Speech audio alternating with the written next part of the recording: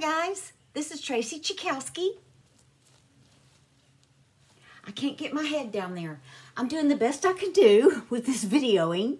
Anyway, I was inspired by the women's uh, department from Florida with their uh, women's retreat that they put online last weekend, and it was entitled Out of the Blue. It was great.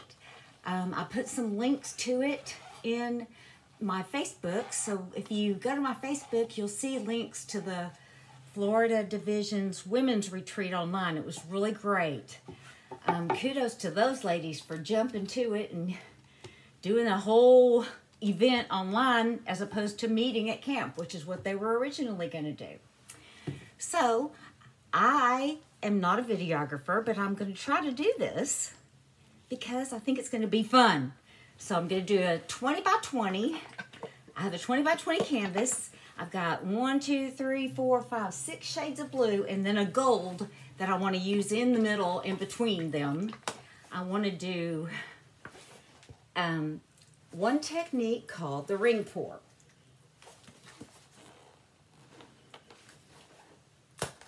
So what I'm going to do is I've got this paint. Now, all of these acrylic paints are different paints. Most of these are Arteza paint, and uh, one is Deco Art Americana Metallic Gold, and uh, one is Artist Loft Metallic Cobalt, and then my white is Artist Loft Flow Acrylic mixed with a little bit of Pure White Satin Enamel and Floetrol.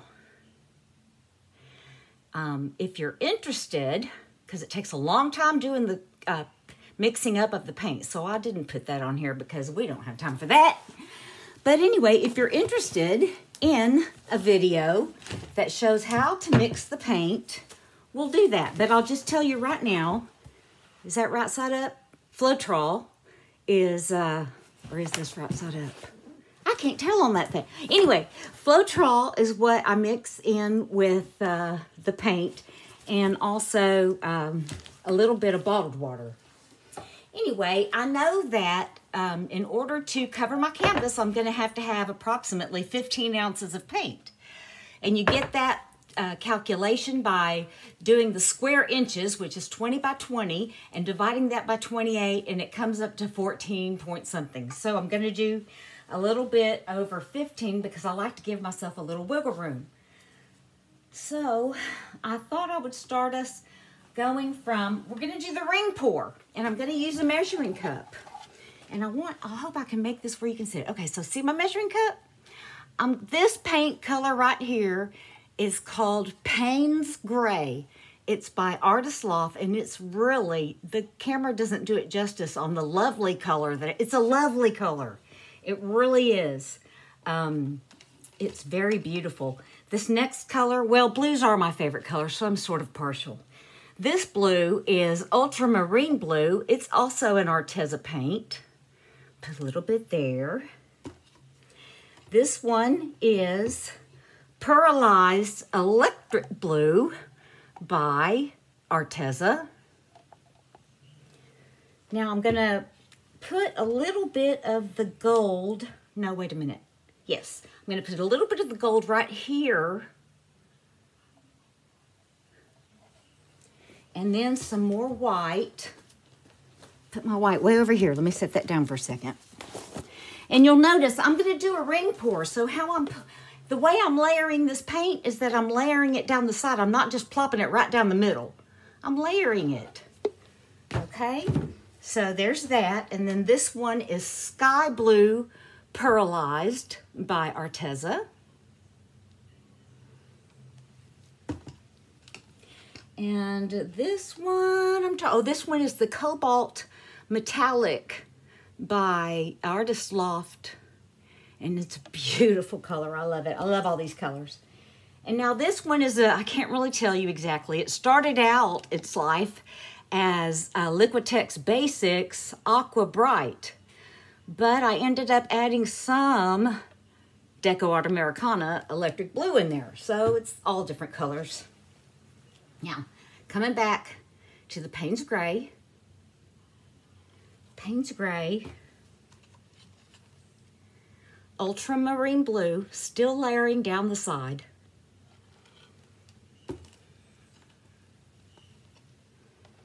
Pearlized electric blue.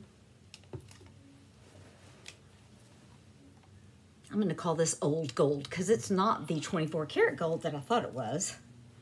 So old gold, a little bit more white. Pearlized sky blue.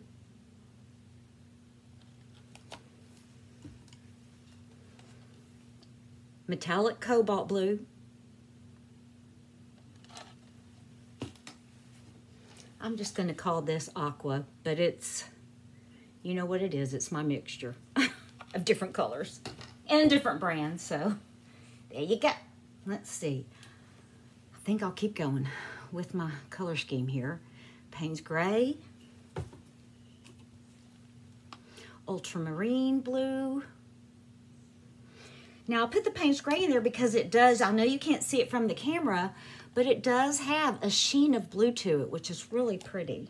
Okay, I'm trying to keep with it like we had it. Okay. Don't want to pour it and wish, oh, I wish I would have done this, this, and this. But you always do. You always think, oh, I wish I would have done this, this, and this. But it's okay. It's okay. This is fun, not stressful. This is fun, not stressful. Did y'all hear me? okay because there's no point. If you're going to just get stressed, don't do it. Just don't do that stressful. If it's stressful, this is supposed to be serene, creative time. And you don't have to stress about anything going on. It's all good. It's all good in this little world right here. Okay Now that. No, it's a little, I still need a little bit more. Keep going a little bit. Still need a little bit more. A little bit more. And we want to have a little bit of wiggle room too. I always give myself wiggle room on pour paintings because you never know. I'm going to use the rest of that metallic cobalt. That's such a pretty color. I love that color. And then we'll end with aqua. the aqua something something because I'm not sure.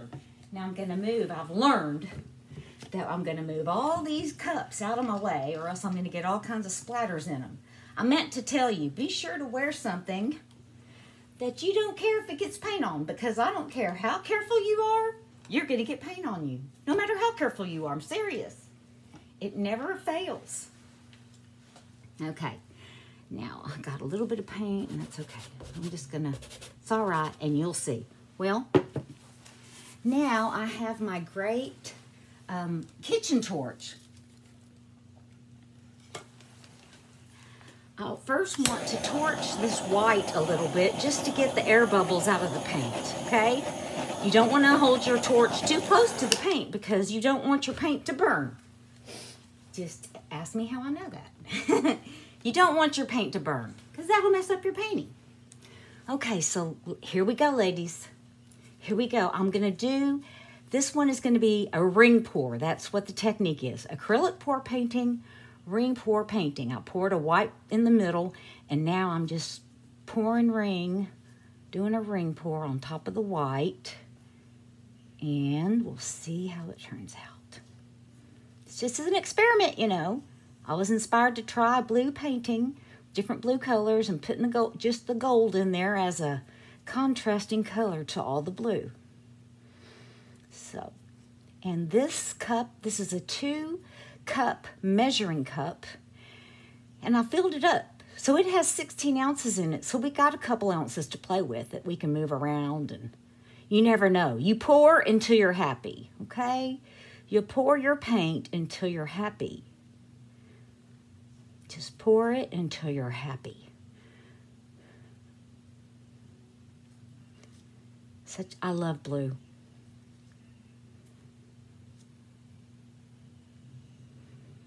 I have no idea how this is going to turn out. Ring pour, ultimate colors blue layered in the cup. Okay, I think we're getting to the end of the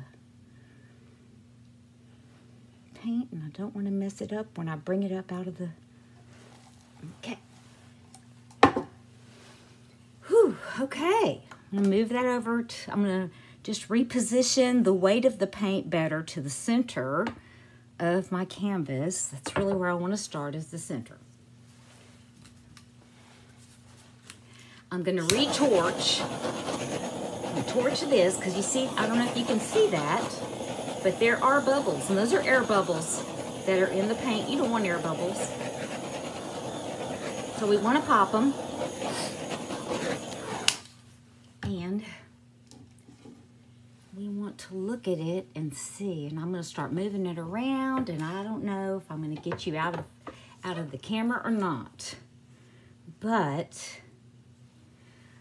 hmm, I think we'll start by tilting and you don't want to tilt fast because if you tilt, well, you know what? I think I'm going to put a flow extender around it. What's a flow extender, you may ask? It is nothing more, it's nothing but this white paint, just the white paint, that's all it is, is see the white paint that I poured before? I'm going to pour a little bit around it so that it has something to slide on. Now, some acrylic artists like to put down a base coat to begin with, but I like to put the little puddle and then pour on top of that, and then if I need it, I do the um, flow extender, which that's fine. That's fine. I'm to get my spatula, my painting spatula, which is right over here.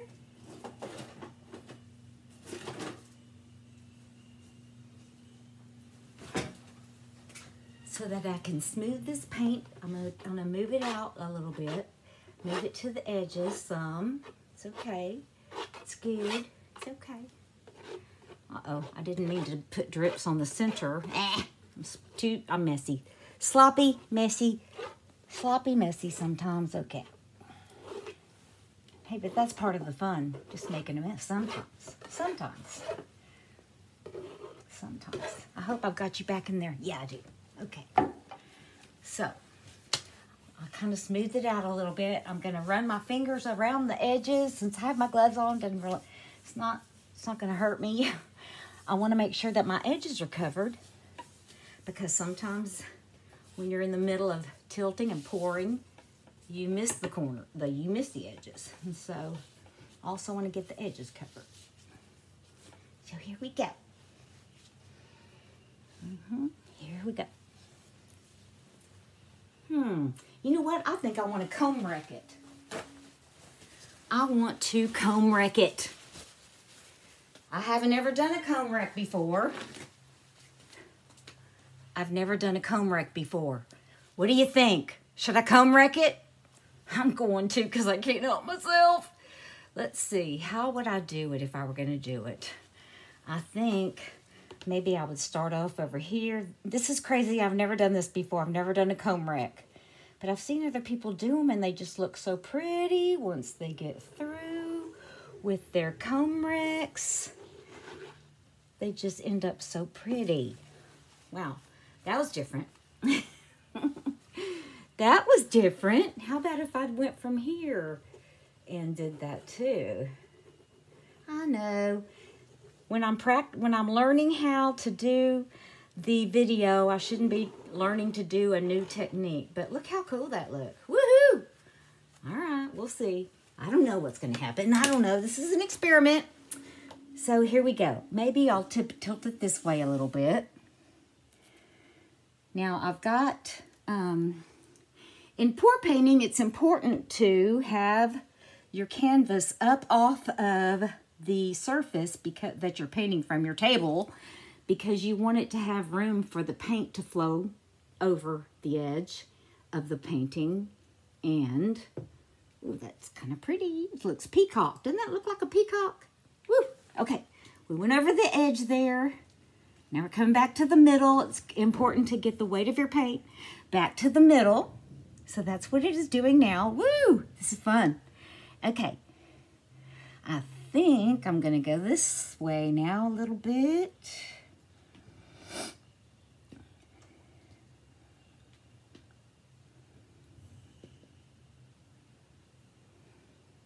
You don't wanna rush it. That's another thing. One thing that is, I find hard is I want to rush it and just want to get it over the edge and I'm going to make it come right back.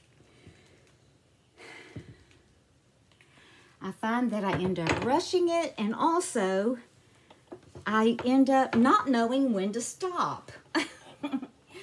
okay, I'm turning it a little bit so it'll be easier for me to tilt. I hope you can see it. Tilt it this way. Need to get the middle.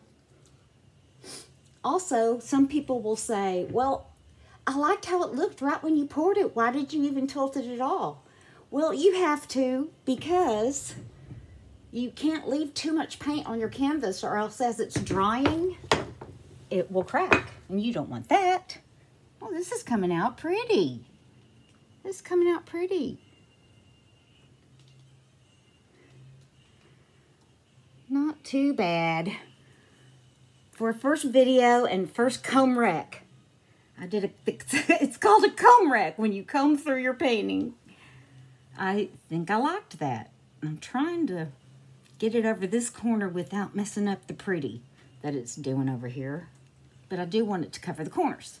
Okay, there you go. Now come back to the middle. Back to the middle. Whew, okay. Wow, it's looking pretty cool. It's looking pretty cool. I don't know. What do y'all think? I'm bringing it up close so you can see it's hard to see it from afar on the camera because it just doesn't give it justice when you're doing that. But you just, it's cool. It's really pretty. Out of the blue. Okay. This is my out of the blue inspired acrylic pour painting. So I just want to inspire you, anyone who's listening, to don't be afraid to try something new, like pour painting. You would be surprised how cathartic and fun it is. Don't be surprised. One of the things also is you want to uh, you want to scrape the bottom. You want to scrape the edges to get all that excess paint off because if you don't, the paint will keep moving. It'll keep moving one way or another. Uh-oh, I see something in here. No, is that something or is it just a white spot? Might be just a white spot. I don't think it's a thing. You always want to have a pair of tweezers around with you to grab lumps or whatever that might just show up all of a sudden in your painting. That happens occasionally. That's because of the Floetrol. It gets clumpy and glumpy. However, I have a I have a strainer on my Floetrol, so it shouldn't be the Floetrol. Not sure. I just want to stretch that out a little bit. Yeah, my problem is knowing when to stop stretching, stop when to stop pouring, when to stop combing. I've never combed. This was my first comb. Y'all saw it. Okay, uh, as soon as I get this, oh, I really like that deep blue over there, don't y'all?